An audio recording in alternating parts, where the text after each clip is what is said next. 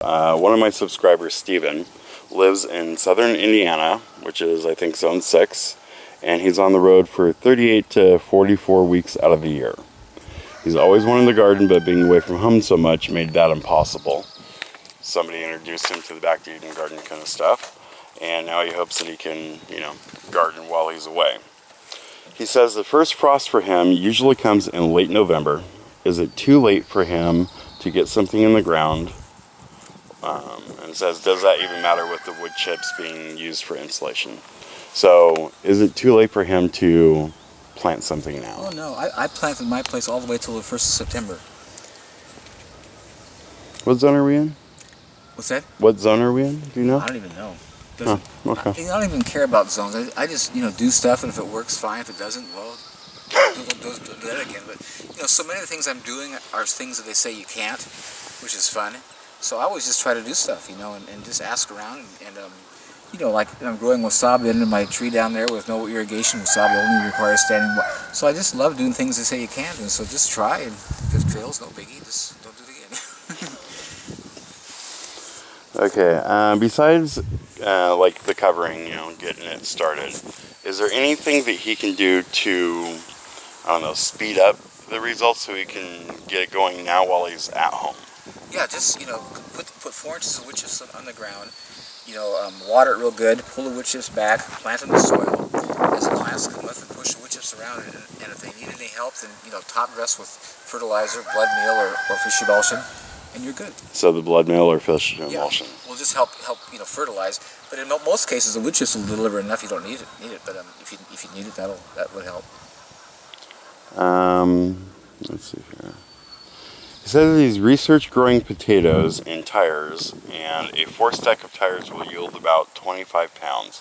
How does this compare to planting straight, I guess, in the ground, but we plant on the ground and then cover it with wood chips? Well, it's just easier not moving tires, and tires are very restricted, and I don't know if that, if all the stuff coming off the tires is good for you. I grow such a huge amount on the ground, and it's so easy to get on my knees, and that's something you never have. You can be gone the whole year, and you don't have, it requires no attention. I show up once a year to plant and harvest September, and I'm done the whole year. Never water, don't hill, don't fertilize, and it's just so easy. Potatoes are the easiest thing to grow.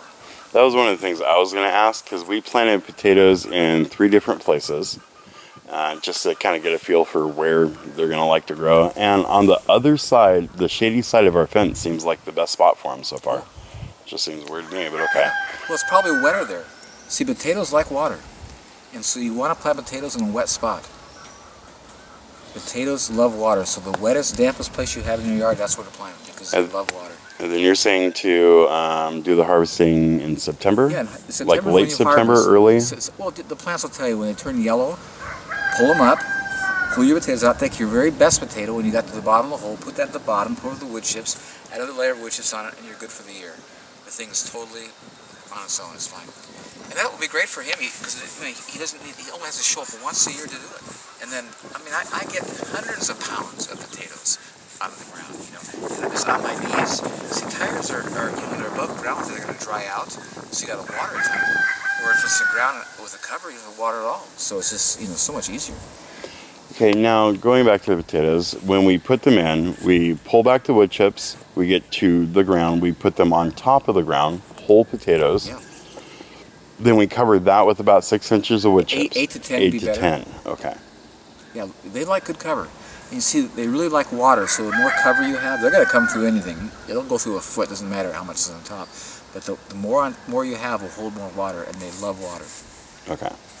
I only have about four inches on top of mine right now, but they haven't, you know, lifted Yeah, up. just- I mean, that was the thing. They're kind of lifting up the wood chips. I can kind of see where they're at. Sure. And the, and the wood chips will settle back down, and you can just keep piling wood chips around them, you know, and, and those keep, keep pushing through because they're, they're vigorous. Okay. Um, let's see here.